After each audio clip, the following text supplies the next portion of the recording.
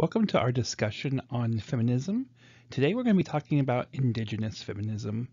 And to help us get started, I want us to think about some of the arguments that were made uh, in our last lecture on third wave feminism. And if you remember, one of the kind of defining characteristics of third wave feminism was its inclusive nature. It was wanting to make sure that not just uh, white upper class uh, women were getting a, a, seat at the table in the conversation about equality, but it was pushing uh, for for everyone to have a seat at the table.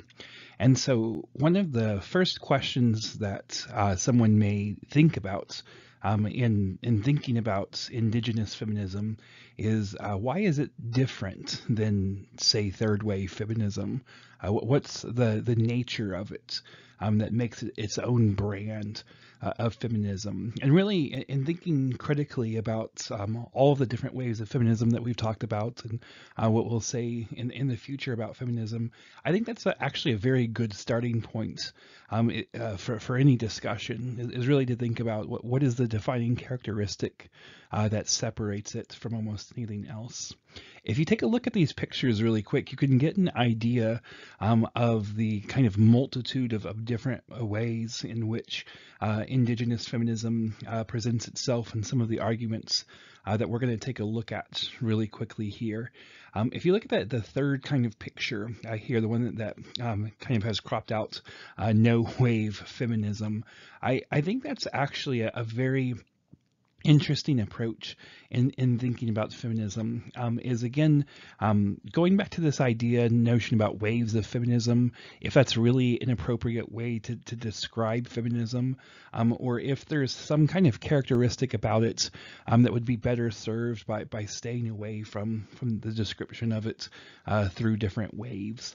And so we're going to take a look um, today not only at the separation um, of indigenous feminism from third wave feminism um, but we're, we're going to take a look at it in its own right and its own capacity um, and its own arguments. To help us get started with that project, I think it's beneficial to go ahead and take a look at the author of today's text, Paula Gunn Allen. As you can see, she lived from 1939 to 2008, so she's one of the more recent authors that we've taken uh, a look at, one of the more recent uh, philosophers. And uh, there's a number of different things about Gunn Allen that I think are absolutely interesting. Uh, to start with, uh, the fact that for, for most of her life she rejected um, most of the labels that were assigned to her. Um, she's part of uh, what's known as the um, Native American Renaissance um, in the United States, and um, she rejects this this label.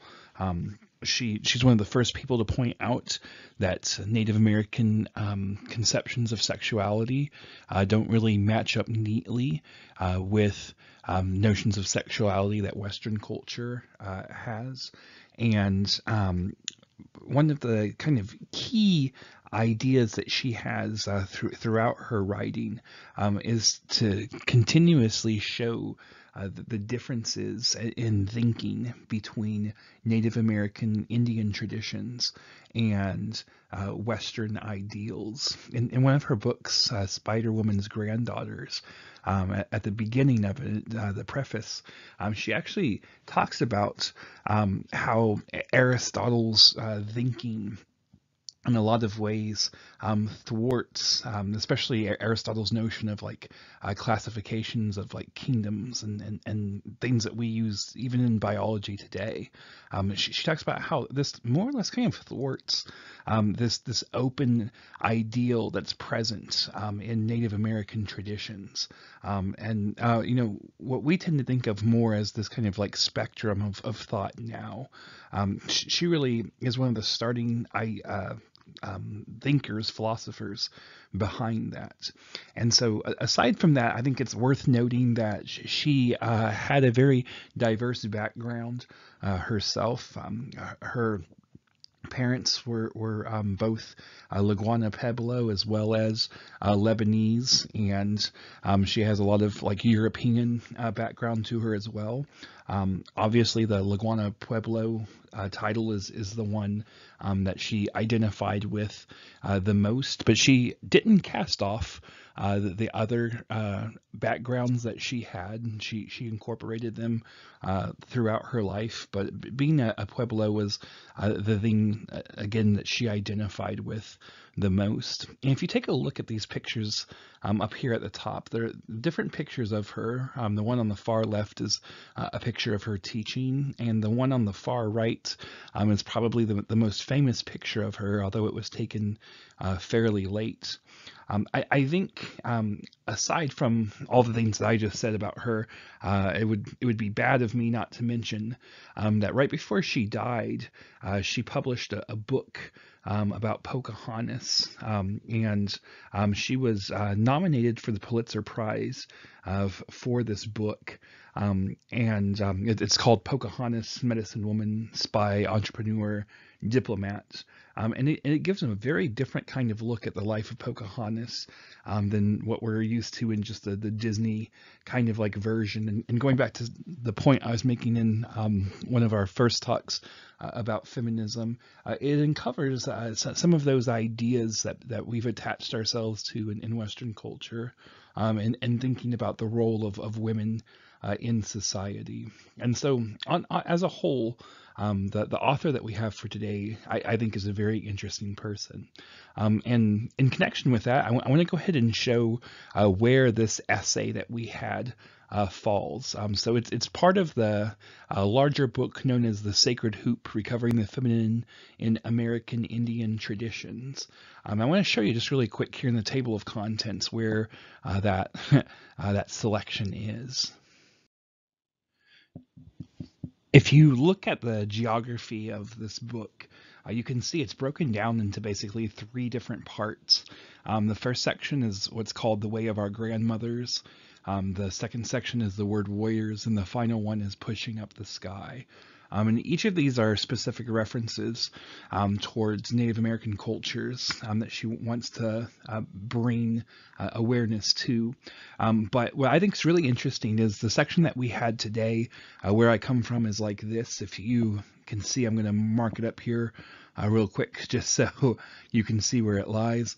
Um, it's kind of a microcosm of um, the other things that she's writing about because she, she tries to integrate um, in this one chapter um, several of, of the other arguments that you see a, along the way. Um, if you look at those uh, first two chapters there, um, th- those are really an introduction into the kind of history uh, behind what she's talking about and where I come from uh, is like this. And uh, the word warriors really gives a good sense. Uh, sorry, I just marked that up. Um, but uh, it gives a really good sense for kind of like the oral tradition that we're going to talk a little bit more uh, about. And then um, pushing up the sky itself um, is is an interesting part uh, of the book. Um, I don't really think I have a, good amount of time to kind of hit on all the nuance um, that, that's in it, um, but I want to draw your attention really quick to uh, the, the chapter that begins on 209, um, Who is Your Mother? The Red Roots of White Feminism. And I think um, that if you were to only be able to read one more chapter out of this, um, I, I, think that that one uh, is is very interesting in terms of what we've talked about so far uh, about feminism because it makes uh, an argument that I don't think you really will find in, in almost any other author um, about uh, the suffrage movement itself and what we've talked about as kind of this first wave uh, movement and it, it, makes a very compelling argument there. Um, there's also, if, if you're interested in um, you know, uh, stays on sexuality. Um, I think this chapter uh, right here is is a very interesting take on that. Um, uh, you didn't really in this uh, part where I come from is like this. Um, didn't really get a, a, very good sense of, of how she talks about sexuality. Um, but but obviously uh, that that chapter is a is a good introduction. So if we can begin by looking at uh, the the basic argument that Gunn and Allen is making throughout this uh, whole essay. Um, it really comes down to the separation that she sees um, of, of culture from Native Americans and Western culture.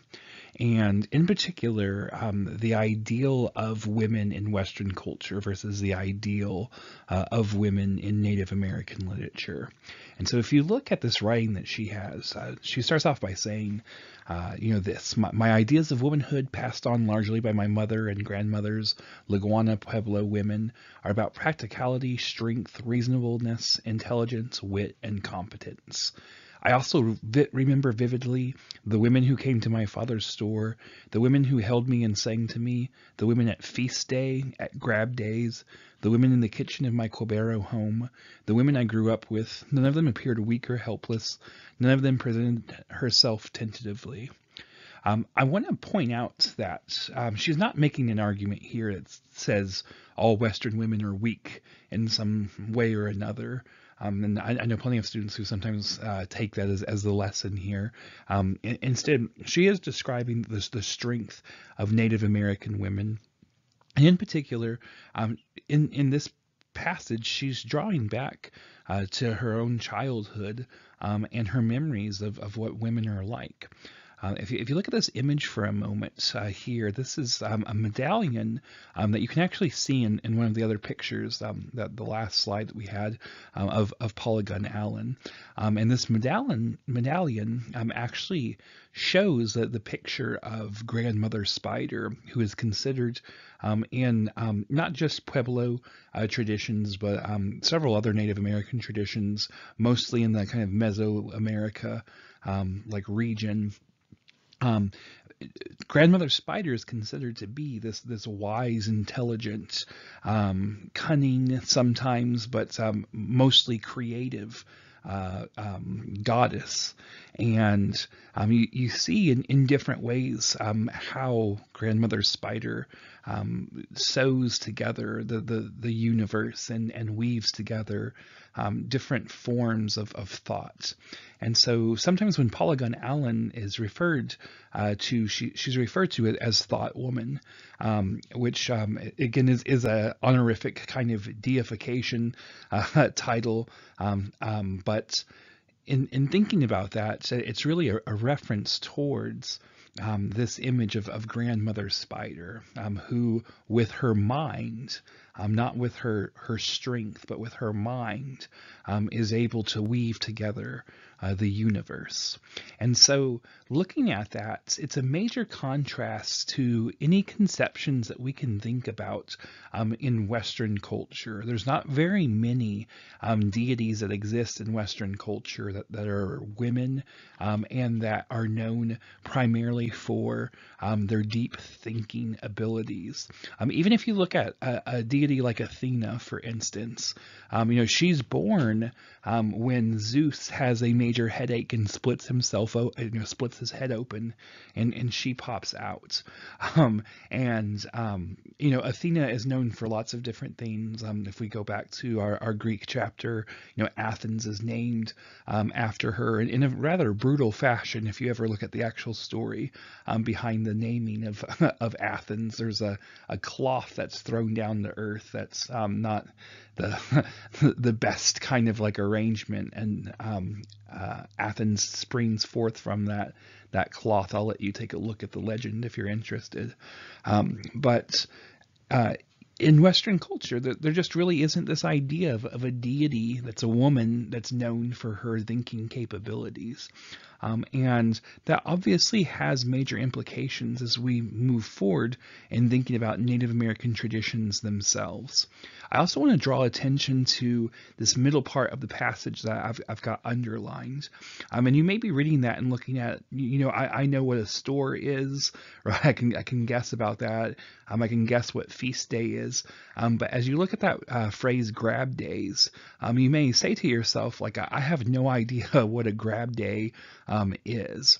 Um, and um, again, she's she's contextualizing this um, in her own life. And so, actually, I want to talk about the tradition of grab days in uh, the Pueblo tradition because it's a significant part of her life as well. So, grab days are a special holiday um, that, that is celebrated um, in the Laguna Pueblo tribe. And really, it's interesting because a, a lot of the year um, kind of rotates around this one particular um, uh, tradition. Um, I've seen uh, other places that list this as a 300 or a 400 year old uh, tradition. And the main idea behind this is if you look at like Pueblo tribes, um, they have these these houses like you see in the bottom left hand uh, corner where you uh, you know take a ladder to get up uh, on top of the roof, and, and the roof is really supposed to be meant uh, for some things. And what you do is basically uh, you take the things from your household that you no longer um, use, um, things that just for whatever reason um, are are no longer useful towards you, and um, people take turns throwing the stuff that they have uh, to the crowds of people waiting below there's a Sundance uh, film uh, called Grab that um, documents this tradition and kind of is, is a larger uh, discussion about um, the uh, commercialization of this event.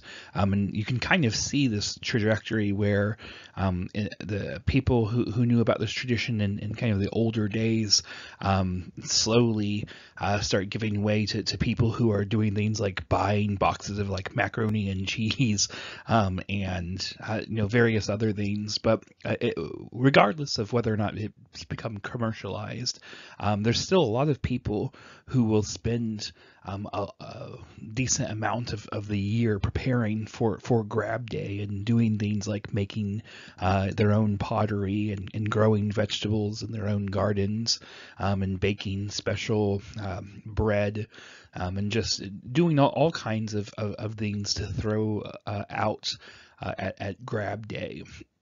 Um, and the purpose behind this is really, again, to, to take the, the things that are no longer useful for some people and share them uh, with people who could uh, use those those items better. And so that's what Grab Day is that she's referring to in the text. I mention that tradition because, again, I think it's useful to, to look at um, the overarching argument that she's uh, referring to in this text. Um, and again, that, that is the idea that Native American traditions are significantly different uh, than Western traditions. And because of that, Native American conceptions of women um, are different than Western conceptions of women. And so if we look at the goals of feminism in each kind of wave that we've talked about um, in the Western tradition, um, it conceives of women as, um, again, looking at Simone de Beauvoir, um, the, the other, the, the dependent consciousness um, to man's independent consciousness, um, or to use the terminology, um, again, that, that's helpful here, the, the oblique to the absolute. Um, but Gunn Allen doesn't see women being portrayed in uh, Native American culture the same way. And uh, for her, the, the main idea is not to try and assert um, independence, is not to try and assert um, a more dominant view, but instead it's to reclaim uh, what used to be the conception of women. Um, it's to to speak out against um, the Western ideal of women and and to go back and reclaim the view that um, is dominant in Native American culture. And so she lists all these different women, and I have a, a list of, of, five here that are significant figures. Um, but she lists all these different women in Native American literature and culture um, that have dominant sorts of roles. And um, I think if you go through this whole list, you, will find all kinds of interesting stories. But I want to point out um, two of them that I think are extremely interesting. Uh, the first one is the story of White Buffalo Woman, and you may have noticed that when she mentions this, she, she means that uh, she, she puts this in connection with bringing the uh, the uh, ritual of the sacred pipe, um, and that's exactly what it sounds like. Um, right, uh, White Buffalo Woman is, is considered to be uh, this uh, mystical figure who taught um, the, these uh, rituals um, to, to different tribes, and um, of course, one of those ritualistic um, uh, engagements or ceremonies is, is the smoking of the of the peace pipe. Um, but I actually I, I want to talk about um, right before uh, that event occurs, um, how it is that she comes to bring the the ritual of the sacred pipe to to people. Um, and uh, the story is almost always told where two men are walking in a field and they see this beautiful uh, woman, and one of them decides that he's going uh, to caress her and, and, do whatever he wants um, to this beautiful woman. And so he approaches her, and he he gets a sense that she is uh, in some ways divine, and it doesn't matter to him whatsoever. Um, and he goes to caress her, um, and suddenly uh, clouds um, uh, envelop him. In some uh, myths, um, lightning bolts shoot out um, from white buffalo women. Um, but regardless, every story always ends with him being fully destroyed by the white buffalo woman. And she goes and looks at the other guy who is walking uh, with, with, this uh, person, and sensing that he has a true and better heart, uh, tells him to go prepare uh, for her because she will come to the tribe and, and teach them the ways of peace. And um, in thinking about this, I, I, wonder if you can think of, of a corollary example in Western culture where, again, um, a divinity that is clearly a woman um, destroys a man who is lusting after her um, and then um, asks another man to go and, and prepare um, for her because she's going to bring uh, peace to, to their tribe. and it, it's such a different perspective than, than almost any other kind of religious view that we, we could think of um, in, in Western culture. Um, the second one here, um, Tonantzin, I think is also an interesting kind of story because it actually circles back um, to uh, another sort of myth. Um, and in fact, if you look this this story up, uh, you, you could well spend um, right uh, a large section of your life trying to look at all the different kind of um, stories that, that go uh, w- with the story of Tonantzin. Um, most people, when, when they grow up in Mexico, um, will hear the story about Guadalupe. Um, and in thinking about that, m- most people think that the story of Guadalupe is really just, um, you know, the Hispanic version of uh, the Madonna or, um, you know, Mary in some ways. Um, but actually, um, Guadalupe is the emergence um, of the story of Tonantzin with um, and again, if you look at the text, uh, what Paula Gunn Allen says is the, the, the walk of Juan Diego, um, and that is entirely where we get the the city of San Diego's name.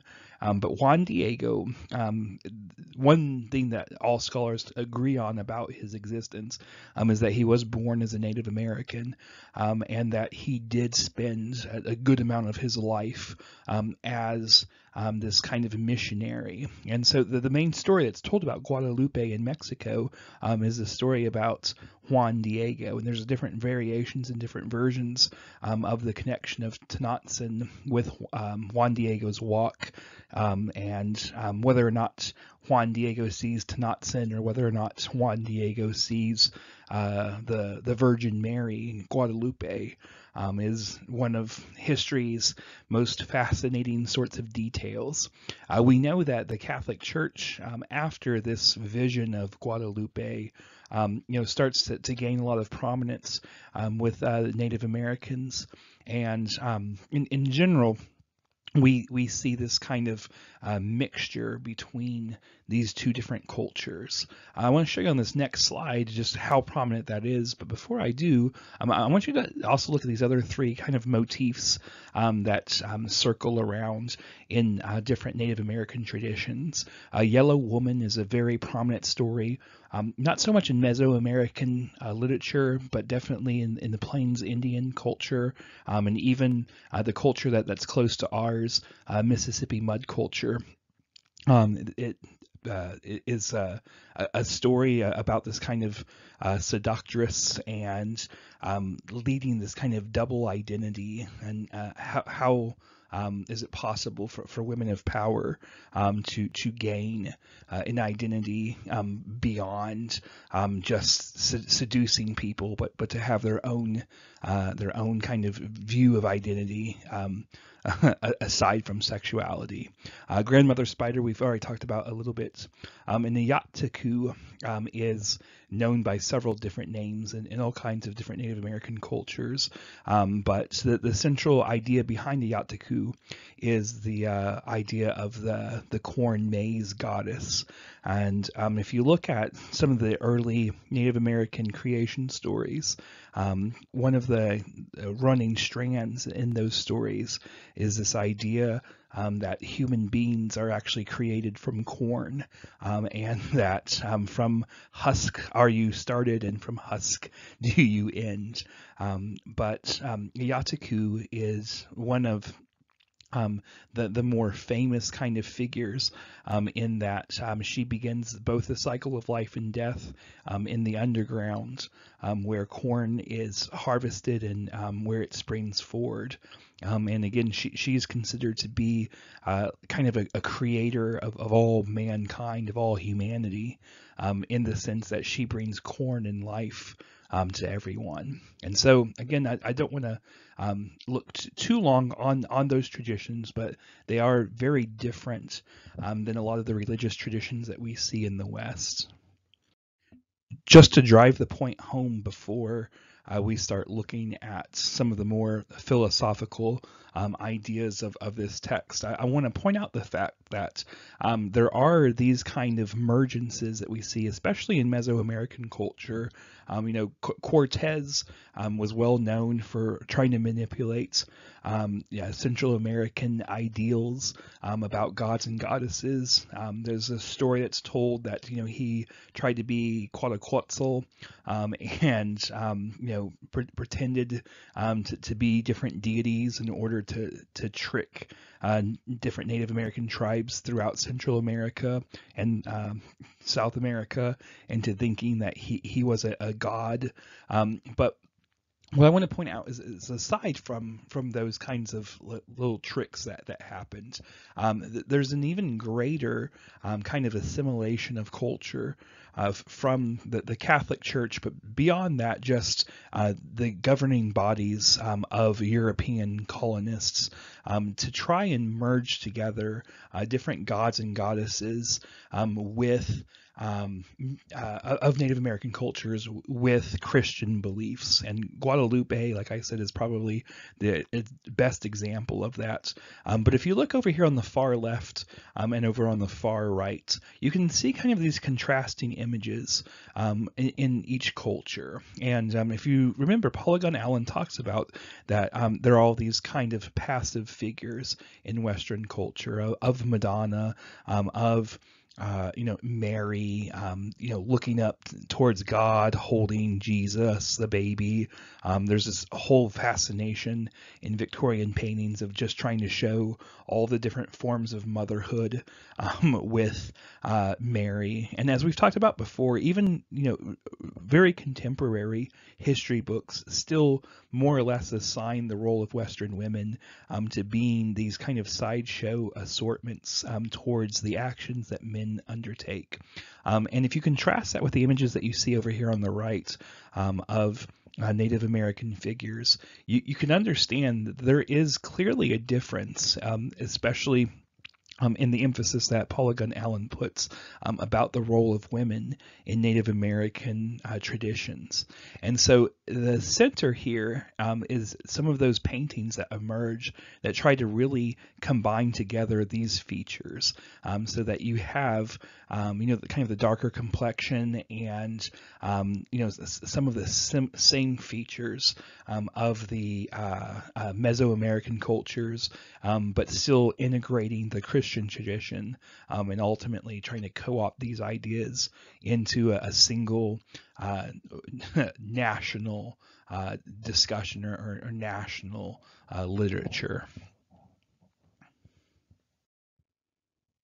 I think it's important to mention um, this co-option of uh, the religious beliefs uh, of Native Americans um, into a, a Christian uh, sort of view, because when we take a look at um, all the different genocide that happened against Native Americans. And Gunn Allen uh, d- doesn't mention it in, in this essay, but in uh, other writings that she's had, um, she she estimates that somewhere between 20 and 40 million, um, uh, uh again 20 to 40 million uh, Native Americans um, ultimately were killed through uh, disease, through warfare, um, you know, through genocide.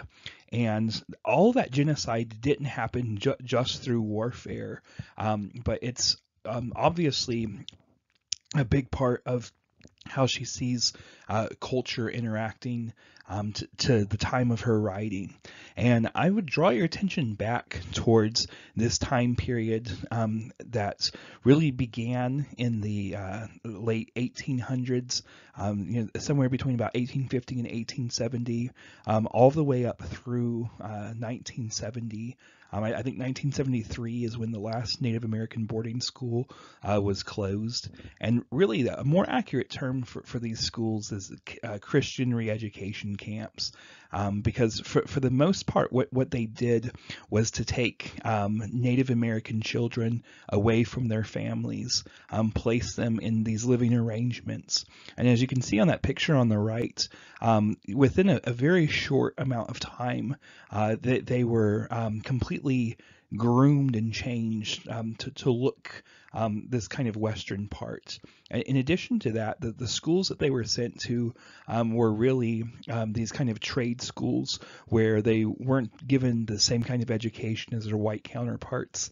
Um, and in a lot of ways, they, they were really sent to these schools to, to learn about discipline um, and to be integrated into American society, but only insofar as they would learn a, a trade and not really a profession. Um, the main point of these schools was to, um, as um, I will show you on the next slide, um, try and, and take away as much of the their Native American Indian features um, as uh, possibly could. And so if you look at the bottom right here at the description of this picture, you know, it says uh, the, the three people's names, Wounded Yellow Robe, Henry Standing Bear, and Timber Yellow Robe before and after their Pennsylvania boarding school gave them proper clothes and haircuts.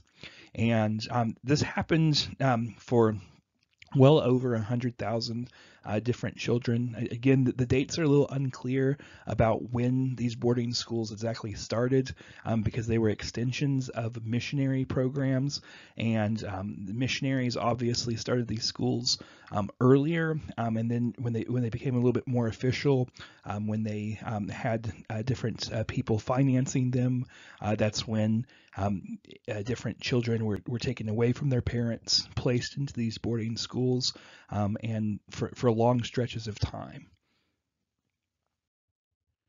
So one of the mottos um, by which the, the Carlisle Indian School, um, which you can see that this individual, Tom Torlino, um, a Navajo, um, was um, boarded in. Um, one of the mottos uh, of it was was kill the Indian and, and save the man. And so um, the the purpose of these boarding schools um, was was very obvious from from the beginning. Um, and as you can see in, in that picture, um, it says right as he entered the school in 1882 and as he appeared three years later. so uh, again, a, a large portion of this um, idea um, behind these these boarding schools. And even if you look at the, the name of the one on the left, right, Regina Indian Industrial School, um, was again to just change the kind of tradition by which uh, people were familiar, um, so that uh, they would instead be integrated into Western society um, under Western culture without any reference um, towards their own heritage, without any reference towards uh, their own culture. Looking at um, not just the massive genocide that happened um, to uh, Native Americans, and again, go, going with the conservative estimates, it's about 20 million Native Americans um, that died, like at least that that died, and uh, of course that doesn't just include like North America, but um, it, you know, total all all Native Americans. Um, but but again, the, the more liberal estimates have have that almost doubled. Um, and so looking at that, it's it's not just that genocide happened um, to, to Native American cultures, um, but it's that these other forms of power that we've kind of like looked at, um, like these other types of normalization, start creeping their way into Native American life. And so, um, you know, n- not only does this genocide happen, but then we start taking children away from their parents, um, which is so important, and we'll talk about that as as well. Um, and you know, we start trying to educate them. If you look at that picture on the far right side, I mean, really think about what the lesson is that uh, is being taught in this classroom. Like certainly they're writing words up on the board, right? But like look at what the the words are about and look at the banner that's underneath them. And like what what is the real lesson that you're trying to teach uh, these children? And so uh, there's this phrase that's used in philosophy, and um, you don't see it um, a, a, whole lot of other places, um, usually like anthropology or human geography, um, sometimes in sociology. Um, but the, this phrase, um, it's uh, coined by a philosopher named Deleuze, and it's called deterritorialization. Um, and again, if you look at the definition here, it's the process of weakening ties between a culture and a location. Um, and this is exactly the point that Paula Gunn Allen is getting at, is that there is some way, some process um, by which uh, how Native American women have uh, been trained to think about themselves does not correspond to the tradition by which Native American women um, originally were, were ingratiated into. And so I would point out that these Christian schools um, which in a lot of ways thought that they were doing the right thing by, by taking these children away, separating them from their parents, trying to teach them a Western tradition, um, is, is exactly going back to what we've talked about with, with Karl Marx um, and with, with Foucault, um, is exactly the way that, that power operates in this dominating sort of like relationship um, where, um, again, these, these contradictions try to work themselves out um, ultimately um, by by forcing people to, to alienate away from the, the things that are the most useful and the most valuable to them, and then instead trying to assign to them this kind of arbitrary uh, value of, of life that just doesn't really work uh, for, for a lot of people. And so where you see Gunn Allen talking um, about um, this uh, you know, deterritorialization uh, of life um, is, is really in these misconceptions that she has to figure out and these contradictions that she has to work out about what she's been told from these Christian missionaries um, and what she's experienced actually growing up as a Native American. And so there are several ways in which this deterritorialization happens to Native Americans. Uh, some of the most obvious cases um, are the actual removal of the people from the land that they're on. Um, if you look at some of the court cases that surround um, you know, uh, Native Americans. It's uh, very interesting. As soon as the Louisiana Purchase um, had uh, been uh, conducted by the United States, um, there was a, a, treaty that would, that was signed that said everything west of the Mississippi um, belonged to the Native Americans was was Indian territory, um, and of course that that was later revoked. Um, probably the most famous case is this uh, one Worcester versus Georgia, um, where Justice uh, John Marshall had actually uh, mandated that the way that the United States dealt with um, other um, Indian territories, other Native American territories, um, was uh, by a sovereign nation to a sovereign nation. And uh, Andrew Jackson is, is famous for saying, um, you know, that uh, Marshall has enforced uh, his opinion, or sorry, Mar Marshall has made his opinion, now, now let him enforce it. Um, and of course, the, the Trail of Tears uh, followed after that. And so you have the actual removal of people from their lands and um, uh, this continuous push um, towards, you know, what was known as manifest destiny that the United States is inevitably going to own um, everything that's west of it. But then there's also um, aside from that, stripping people um, of their of their oral tradition, which is a very important part um, of Native American culture. And if you look at what Gunn Allen says about oral tradition, she, she mentions all, all of these. I, I, couldn't put them all on the slide, right? But if you just look at this list on the left hand side, she says, you know, all of these are stories that her mother told her, and she said, you know, she didn't recognize them as stories necessarily at the time but all, all of these are the types of stories uh, that her mother told her.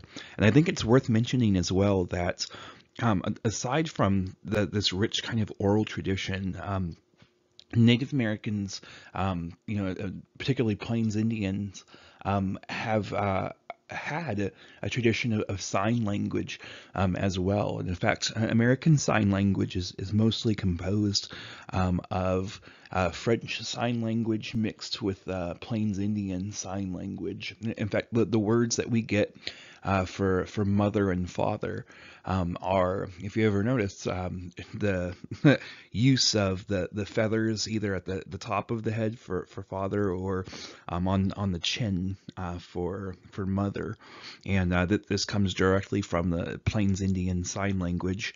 Uh, that, that was used. And so um, there's ways in which uh, language transpired um, beyond just the, the oral language as well, but the oral language is, is very important. As, as you can see in this um, none too exhaustive list um, of stories that, that she was told. And um, when she gets done going through this whole list um, of different things, and she, uh, I left out some of the most significant things on the list about like politics and religion and so on. Um, but she says, um, you know, all of these stories combined together were really these stories that that taught her about the meaning of words that she said, and then um, you get this very interesting kind of metaphysical claim. She says that all life is a circle and everything has a place within it. Um, one of the other conceptions that we're, we're not going to really explore um, in this uh, area, but um, some people have, have sometimes equated um, the um, the medicine wheel with um, the the Taoist um, kind of notion of, of yin and yang, rising and falling. And I, I think it's interesting how many different connections uh, there are there really uh, is um, between uh, the yin and yang cycle and the, the medicine wheel in uh, Native American literature. So if this piques your interest, that's uh, another place that you could uh, look into. Um, but this con conception that all of life is a circle, and everything has a place within it, um, goes in several different directions in Native American philosophy. Um, one of the other interesting essays that she has is a, one titled uh, The Woman I Love is a Planet, The Planet I Love is a Tree. And um, in it, she makes this really uh, interesting analysis where, you know, she talks about how, how many different types of creatures actually live on your body. Um, and, you know, for, for those creatures on your body, as microbes and so on and so forth, uh, that they, um, you know, don't realize that um, you view them the way that you do because they're just part of your body. Um, and, and, she talks about how our, our planet, um, in a lot of ways, are like those we're, we're, like those microbes on on the planet that we live on, um, and um, she uh, you know extends this analogy to, to a lot of different ways in which um, you know the the planet itself is, is like a body that um, you know people should decide what they want to put in it and um, should um, you know uh, think about what what, what is pleasurable um, and what what is not pleasurable. Um, and uh, the second part of it, where she, she, talks about the planet is like a tree, is she, she talks about the, the growth of trees and kind of this extended network. Um, and when when you think about it as a this kind of cosmological um, uh, sort of principle, uh, what she's really getting at is this interrelatedness of life and how everything, how every story that's told um, affects someone else's story. Um, and how even the, the tiniest thing in the universe uh, still has significance, and how even the greatest things in the universe still have significance. uh, what I would like you to do for your in-class assignment uh, today is I want you to to take up part of this oral tradition that Paula Gunn Allen is talking about. Um, I want you to write a story on the discussion board. And again, because it is a discussion board, you're going to share it with everybody else. But I want you to write a story about your own life. Um, you don't have to to get deep into the weeds or uh, tell us a lot of different uh, things, but just tell us one kind of family story uh, about your life on the discussion board, and you can decide how detailed you want to be from it. Um, my hope is that you'll you'll be able to look at not only your story but other people's stories as well, um, and maybe see some connections, maybe see some overlaps that, that that are interesting points for you. And so one of the other ways that we see uh, this notion of deterritorialization work itself out um, is in how um, uh, Native Americans are um, led to believe the history of, of their own people. And so if you just look at uh, what she has in, in uh, this essay, right, she says, uh, no Indian can grow to any age without being informed that her people were savages who interfered with the march of progress um, pursued by respectable, loving, civilized white people. We are the villains of the scenario when we are mentioned at all. We are absent from much of white history, except when we are calmly, rationally, succinctly, and systematically dehumanized. On the few occasions we are noticed in any way other than as howling, bloodthirsty beings, we are claimed for our noble quaintness. In this definition, we are exotic curious. Our ancient arts and customs are used to draw tourist money to state coffers into the pocketbooks and bank accounts of scholars and into support of the American and Disneyland promoter's dream. And um, as you can see here, uh, there's a couple of different depictions. So you know, I have two there where you see this idea of the savage, right, the bloodthirsty savage, um, splitting people open and um, wanting to basically just bleed them out. Um, and then you have the, the idea of the, the noble savage um, as well. And if, if you Google that, you'll get um, all kinds of, of hits, all kinds of images uh, that exist. Um, I think, you know, interestingly enough, if you look at um, the depiction of, of Native Americans in Peter Pan, which is um, by far not a very generous depiction that their skin is extremely red and um, they, they speak in very stereotyped uh, sort of ways. Um, but I mean, if you if you look at that story, um, it, it's a, a, good example of, of this kind of contrast between, um, on one end, the the savage um, that needs to be tamed, and on the other end, the the, the savage, right, that is uh, noble in, in some sort of way. Um, and so, um, you know, thinking about this, um, this is the reason why um, aside from saying that the redskin is one of the kind of worst stereotypes um, in in existence. This is also one of the reasons why people have such such such a problem with using Native American heritage as a, as a type of mascot, um, is because um, not not only um, does it in a lot of ways defame the kind of uh, real history and heritage behind Native Americans.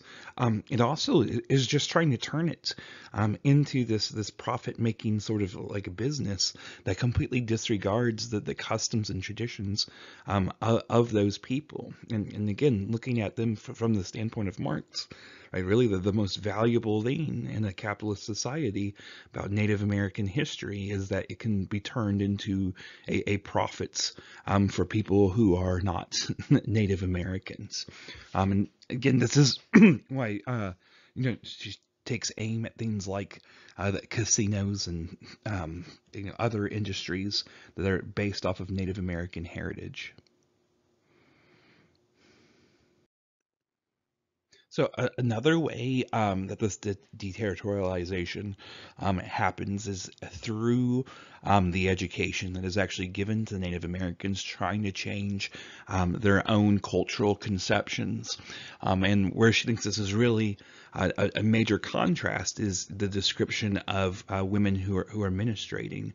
Um, and I want to point out this passage from Leviticus because it's the one that she's referring to when, when she's talking about how the Christian Christian missionaries ultimately um, educate her about uh, what what women are like, and so um, in it, if you see Leviticus 15, 19 through 20, um, it says, uh, when a woman has her regular flow of, of, blood, the impurity of her monthly period will last seven days. Anyone who touches her will be unclean till evening. Anything she lies on during her period will be unclean. Anything she sits on will be unclean. Uh, there's a writer um, named Rachel Held Evans uh, who, who, wrote a book called um, A Year of Biblical Womanhood, um, where she uh, uh, try to for a whole year uh, follow all of the rules um, that are prescribed in in Leviticus. Um, and if um, you're you're interested in, in things like that, I, I definitely tell you to check out the book. Um, but she, uh, uh, you know, she leaves the house for seven days and um, like uh, you know digs this this uh, in, encampment where she's supposed to bury um, her um, uh, her blood. Um, and that's uh, a very different version than what Gunn Allen actually learns um, is is true of most Native American um, uh, traditions. And so look at the description that she gives here. She says the Lakota say that ministrating women anywhere near a Yuwipi man who is a special sort of psychic, spirit empowered healer for a day or so before he is to do his ceremony will effectively disempower him. Many hold that we possess innately the blood given power to kill with a glance, with a step, with a judicious mixing of ministerial blood into somebody's soup. And just looking at the contrast between both of those ideas, um, I hope it's obvious that um, there is a major difference in how um, a woman's period is, is seen in, in both of these cultures. Um, you know, in other spots, she, she talks about how when uh, she's on her period. Um, her mother says, you know, that that's not a reason for her to not be able to go swimming or go hiking um, or do any of the things that she wants to do. Um, and that, um, you know, in, in some ways there's this uh, kind of uh, a spite that her mother has uh, for uh, women who sit around and get the blues and get, get the cramps. Um, and uh, what I think is interesting about that is, is, is it still shows that, that perhaps some of the cultural narrative um, uh, surrounding the period is, is still um, that those, those things are accepted, um, right? But that her her mother specifically take, takes issue with those exceptions. Um, but e either way, um, the idea that the woman is unclean or filthy or, or dirty, like during this time period, which is um, a, a, reconstruction in lots of different um, uh, uh, uh, Western conceptions of, of the period. Um, I, am thinking even of um, in uh, Ayaan Hirsi Ali's book Infidel. Um, you know, she she talks about how she she's beaten um, regularly uh, once she starts having her period because it's seen as as this uncleanliness uh, like from her. This conception in, in the Western world doesn't make its way into Native American literature.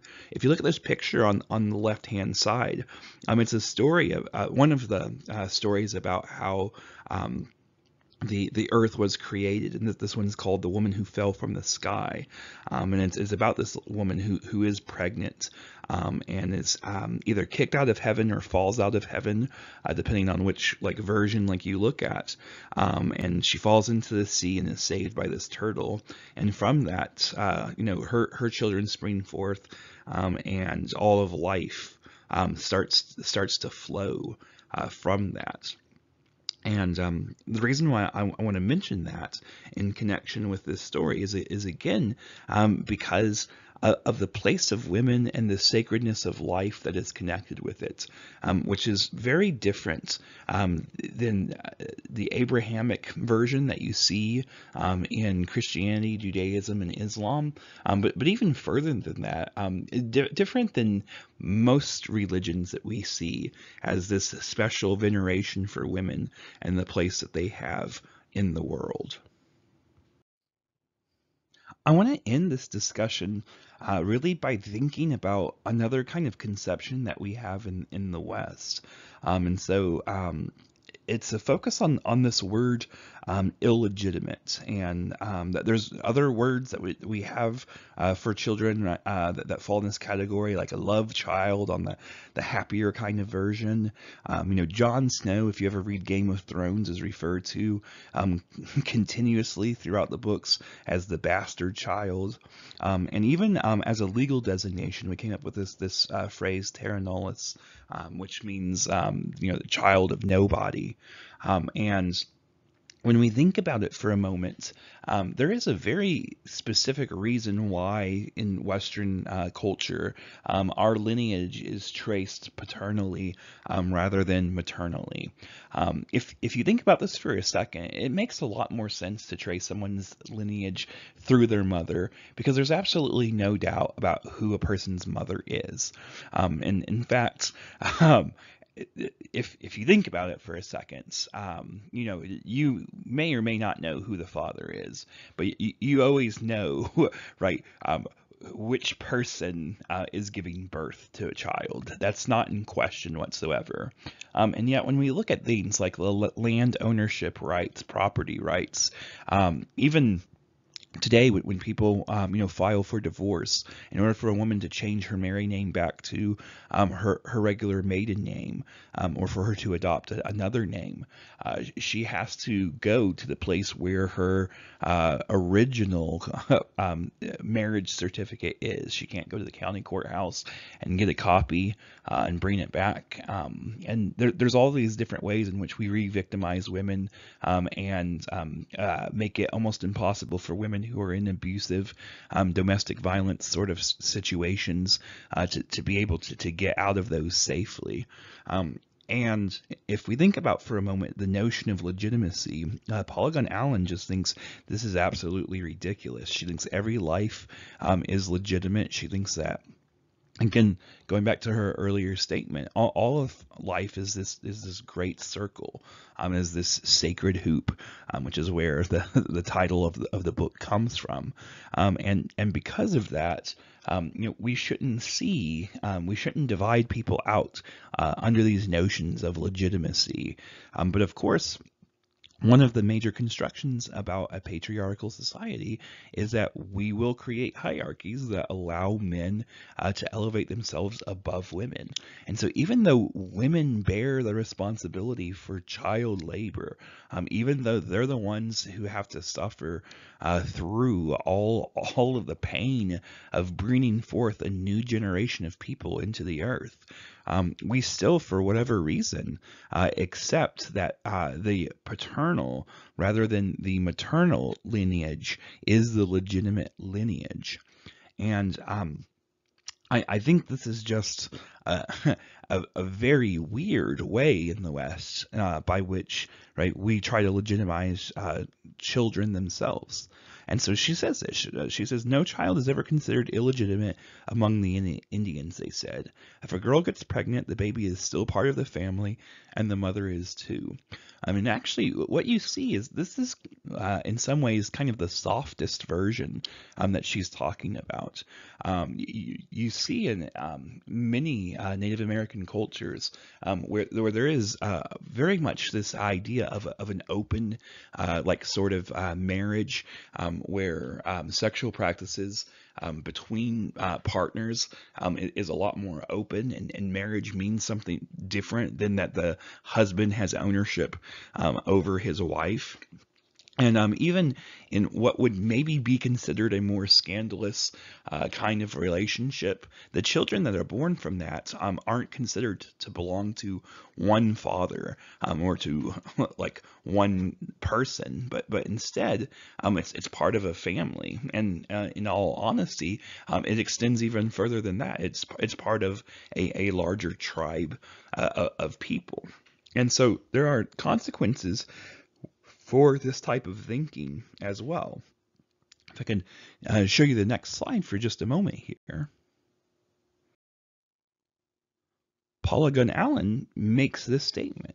She says, Of course, the ravages of colonization have taken their toll. There are orphans in Indian country now and abandoned, brutalized folks. There are even illegitimate children, though the very concept still strikes me as absurd. Proximity to the civilizing effects of white Christians has not improved the moral quality of life in Indian country. And so the whole point that she's really getting at throughout this whole essay is that, again, Western conceptions of what Native Americans are supposed to be change the actual status of Native Americans. Um, and in particular, uh, the conception that women have of themselves um, in Native American traditions are very different than the conceptions um, that women have uh, of themselves in, in, Western society. And so, again, to her, the idea isn't, well, we should reclaim um, this kind of uh, authority um, that that like we should have. Um, and instead, for her, it's like we should reclaim our tradition because our our tradition um, already makes room, right, for the equality of women. Um, you know, women are warriors in Native American societies. Women have seats at the council meetings. Women are medicine women. Um, you know, women are healers um, in her society. Uh, women are free to explore their sexuality. Women can be defined by, by more than just their ability to cook and clean, their ability to raise children. Um, and in some ways, these uh, sorts of uh, ideas that we think of as uh, obligatory towards women's roles um, aren't, aren't, even second nature in Native American cultures. Um, men can do them just as easily as, as women can.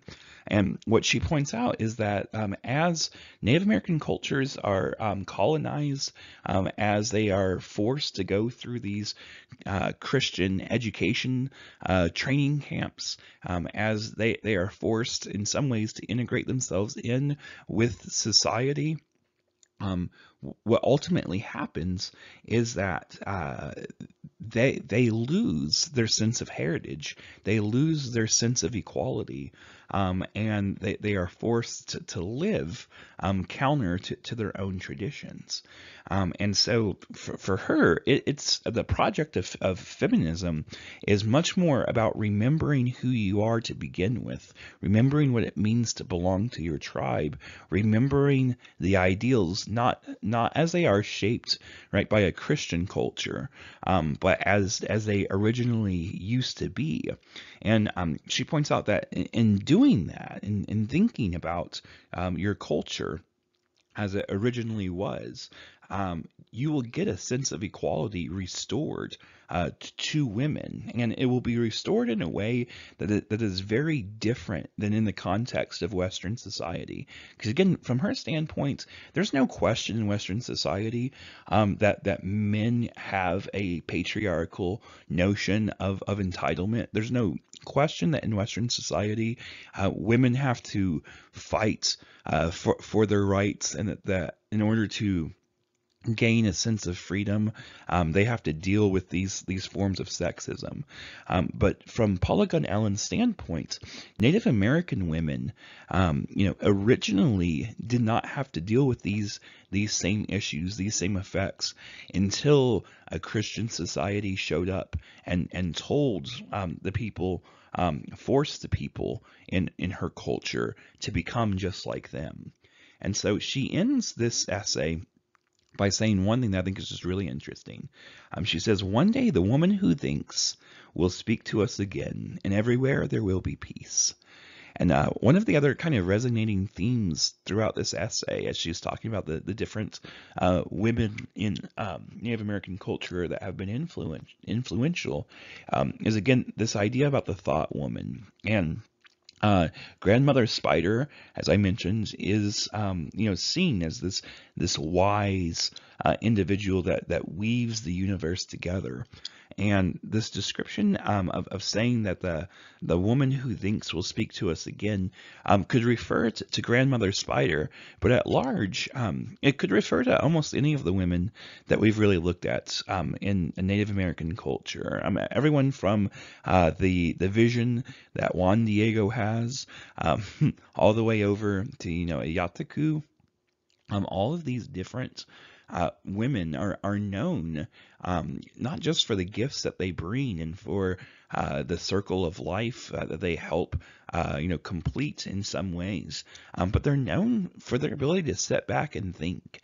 Um, and this was true of Gunn Allen throughout her life uh, as well. Is that you know she was known as, as as a thoughtful individual in terms of what her culture was. As as I mentioned um, earlier in our uh, feminist discussion, she's one of the first people uh, to really bring out this criticism about Western culture and, and to say, you know, um, it's lied lied about uh, the role of, of women in Native American cultures, why wouldn't it lie about the role of regular women, right, in, in Western culture?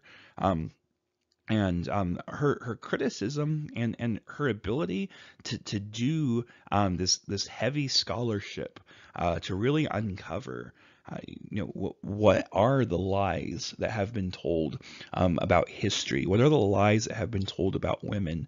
Um, really lead to um, some interesting new discoveries. Maybe one of the most interesting kind of arguments um, that we won't really take a look at in, in feminism, um, but but finds its way in in this uh, discussion about indigenous feminism, um, is an argument uh, about the Venus statues. And if you don't know what these are, they're, they're the oldest statues that um, have have been discovered um, throughout the world. Uh, we, we find them, and, and they're, they're little small pocket-sized kind of statues. They usually have very big breasts um, on uh, women, um, and there's lots of different portrayals of them. Um, they're, they're called the Venus statues just because we, we find them spread throughout the world, and um, uh, scholars conjecture all kinds of ideas about um, why we find them everywhere. We, we found them uh, in places as remote as Siberia, um, and you know as, as common as, as France and Spain, and uh, uh, literally every place that there has been a um, human civilization, we, we have found some type of, of, of Venus statue.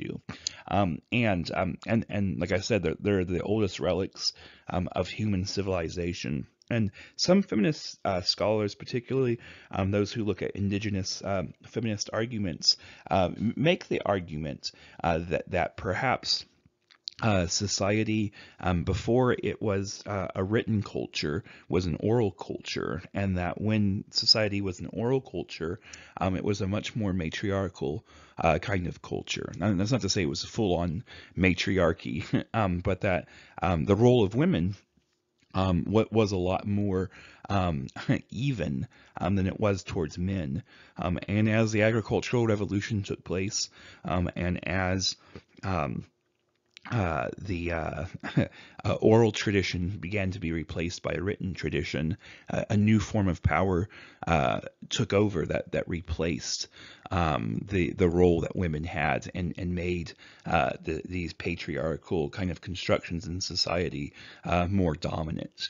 Um, there's lots of reasons why you could could argue with that position.